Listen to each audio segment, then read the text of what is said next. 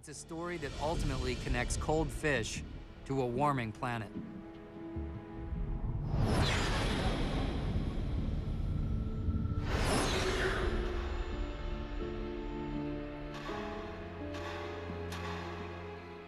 Many small towns are haunted by unsolved mysteries. Disturbing tales often recalled in the dark of night.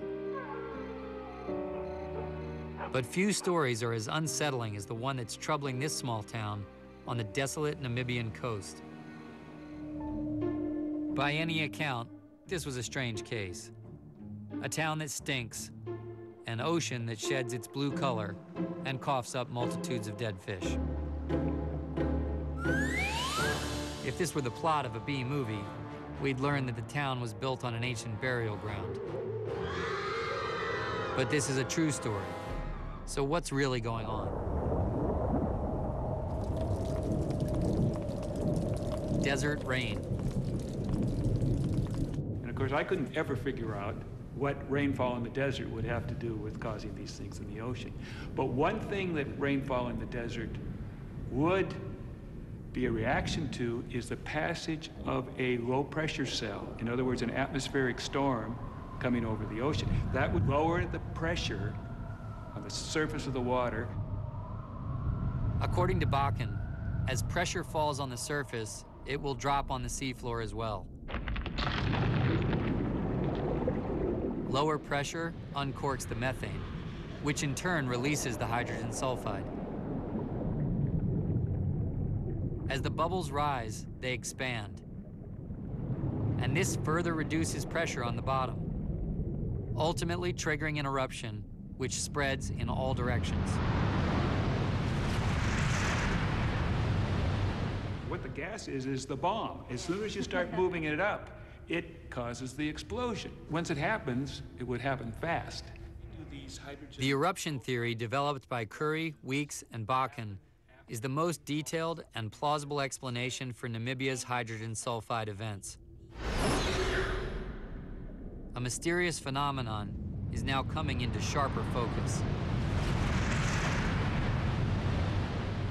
At this point, you might be scratching your head and wondering, what does this have to do with fishing? Good question. The only fish we've seen in this story were dying in droves on a beach. Well, fish, it turns out, are players in this drama, and very lively ones. Or at least they were just a few years ago. Namibia's fisheries used to be among the richest in the world. But by the 1970s, most stocks were nearly wiped out by foreign fleets. We know that 40 years ago they were catching a million tons of fish every year out of this system. There were enormous numbers of fish here. For one thing, they estimate there were 10 million tons of sardine.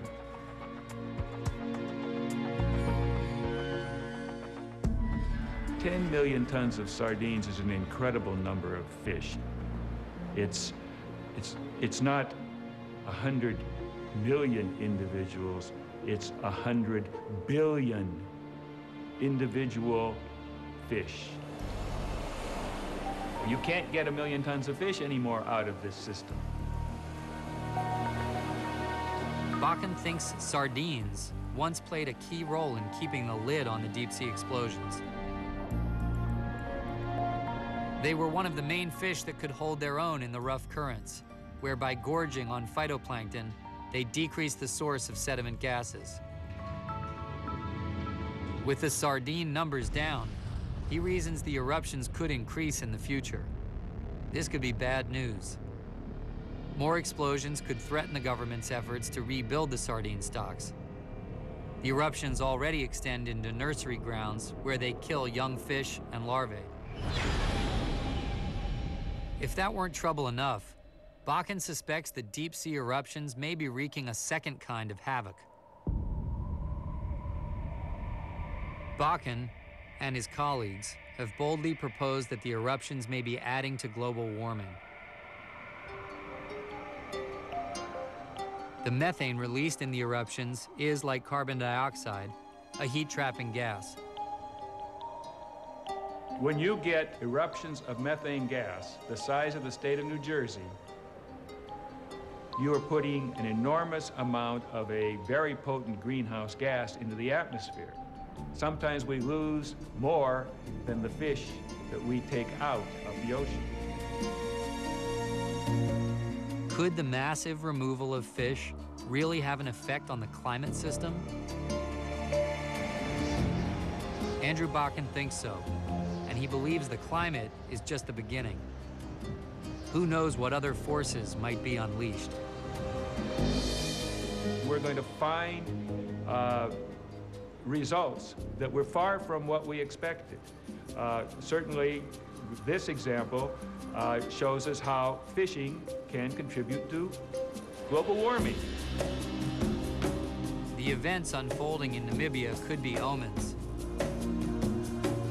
That's because fishing pressure on plankton eaters is ratcheting up around the globe. Soon, toxic eruptions could be spreading to other pockets of the ocean.